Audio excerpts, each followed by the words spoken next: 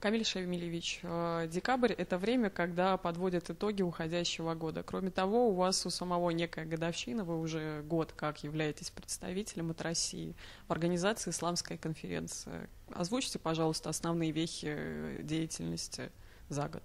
Это надо большую пресс-конференцию проводить еще раз. Или большое интервью, если говорить об этом, обо всем. Я считаю, что год очень успешный. Он э, сблизил Российскую Федерацию и Организацию Исламской конференции. Э, особенно э, вот мы то, что как бы не всегда каждый день замечаем, в Организации Исламской конференции еще много структур. Их там 35 всего структур в Организации Исламской конференции. Допустим, мы все привыкли говорить вот, о, ЮНЕСКО, а там есть свое СЕСКО.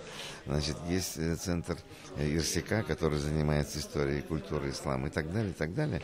И вот мы уже с ними, ну, особенно с Исламским банком развития, уже налажены иные отношения, чем они были. Мы от них начинаем черпать информацию, и эту информацию уже вот, допустим, э, Комсес э, заседал, вот я то, что говорил в Стамбуле, это экономический весь блок, и мы теперь с ними вместе взаимодействуем вот по тем двум, допустим, проектам, там их намного больше. Э, начинается какая-то конкретная работа в глубине, что ли, самой организации исламской конференции, именно на тех, во всех пластах, которых мы не прикасались. Вот это, наверное, такой, может быть, обобщенный итог. Ну и потом э, созданы условия, чтобы дальше двигаться вперед очень уверенно и хорошо. Условия достаточно хорошие созданы, это надо прямо отметить. Камиль Шамилевич, Россия добилась статуса наблюдателя в ОИК. А что же дальше? Станет ли она членом? Я вот так вот большого ущемления в работе пока не ощущаю в этом деле, да, потому что у нас очень хорошие деловые контакты. Это благодаря генеральному секретарю организации, с которой мы уже более 15 лет дружим лично.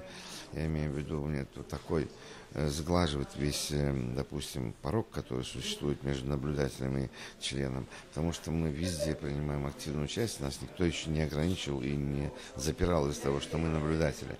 Вот. Но хотя там на будущее мы работаем над тем, чтобы где-то можно было через конкретные дела, конкретные, конкретную пользу для организации конференции, в первую очередь для них, нас перевести из наблюдателей в постоянные члены.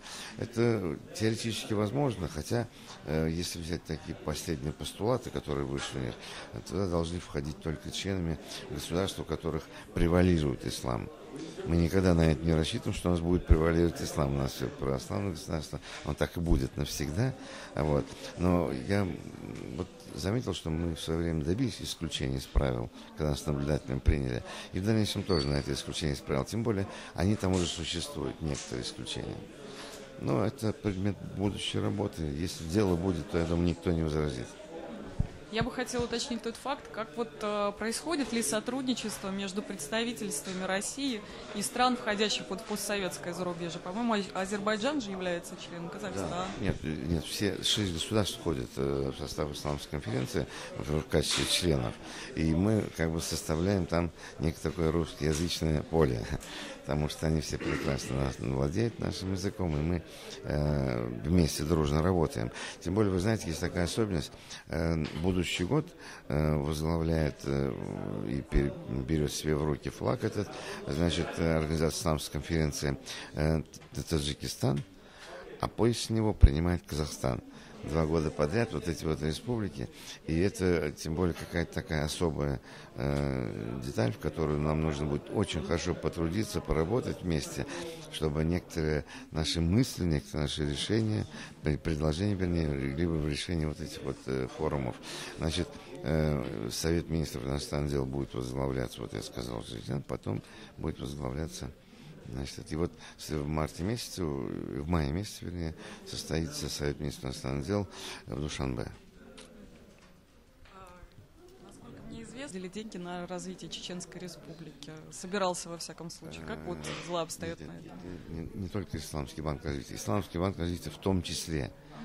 А такое решение приняли все государства, э, входящие в состав Организации Исламской конференции. Они все участвуют, кооперируют все эти средства организации Генеральный секретариат. И генеральный секретарь заключает договор, договор соглашения. Вот мы сегодня тоже это обсуждалось на политконсультациях. И в ближайшее время будет делегация, которая поедет в Чечню за конкретными делами, обозначить, что же хочет президент Чечни – который будет подписывать соглашение, и как это воспринимается вот, э, организация исламской конференции. То есть будет какой-то некий набор э, работы объектов создан, который будет подвергаться вот их вниманию. Вы знаете, я уже это... Последний вопрос можно? Последний, надо завершающий. Завершающий, хорошо. А, одна из основных целей ОИК – это борьба с исламофобией. Вот буквально недавно в Швейцарии запретили строительство мечети. Какова была позиция ОИК по этому поводу? Ну, очень категоричная.